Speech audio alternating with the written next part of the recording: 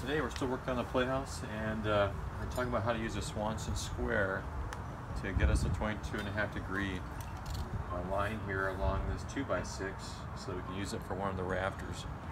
And uh, with the playhouse we're not necessarily tied to the plans as much as we would be with the house or something more important. So usually in that situation we want to maximize the use of our wood. So we've got 2x6 by 8 and sometimes the plans may call for you know nine inch overhang wherever it might be. And in this case we just want to use the maximum we can to get close to that. So we probably get close to seven eight inches but part of doing that will be maximizing this. So how we're going to do that is we'll measure the full length of this 2 by 6 by 8 and in this case the 2 by 6 by 8 is about 8 8 feet a quarter inch. So we're going to mark in the middle of this basically four feet and an eighth of an inch. So that's right about here. Okay, eighth of an inch for our mark. So with that mark, go ahead and take our speed square here. We'll draw a line down the middle there. And then we need to identify the middle of the board.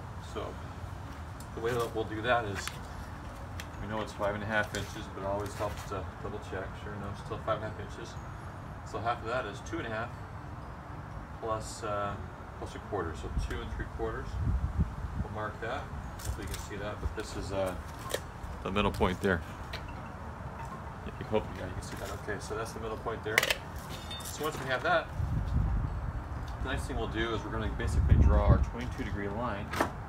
That will be our rafter cut as it meets the top of the uh, of the uh, kind of the ridge board we're to make that uh, cut kind of cut through like this. So the way that we'll do that is we'll take this speed square here and uh, you'll notice this is kind of pivot, a pivot spot here on this particular uh, corner of the 90 degree point of this speed square. So we'll take it here, we'll follow this line here,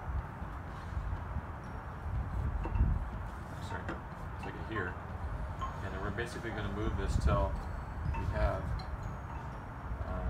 see match here. I'll have our 22 degrees. Let me bring it a little closer. Able to see.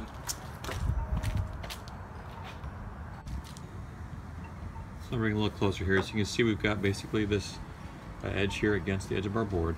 It says pivot. So we pivot it.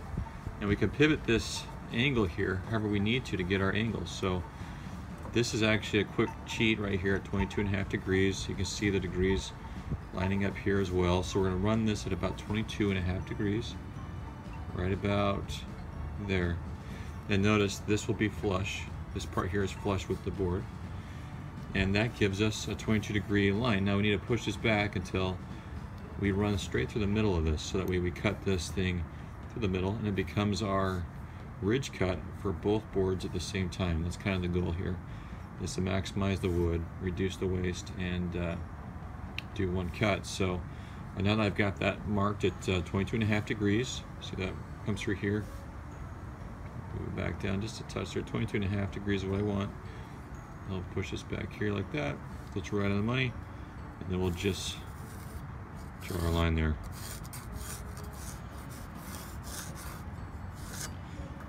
And then we'll make our cut. So that line will be uh, this direction and this direction will be the same length. So we can use both of those for our uh, rafters on this playhouse.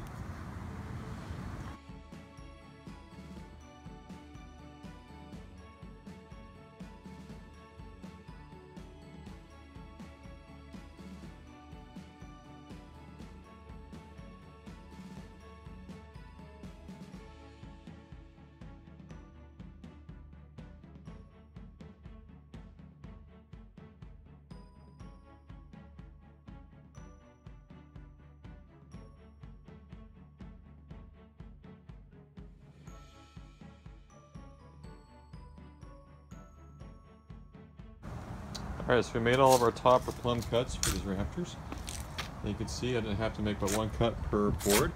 And they're even here. This is pretty straight. Pretty happy about that. And then on this side too, pretty straight. Pretty happy about that. So just by measuring down the middle, taking half of that and then running that 22 degree line along the middle of that center dot, we're able to uh, reduce our number of cuts. Anyway, there it is. Thanks for watching.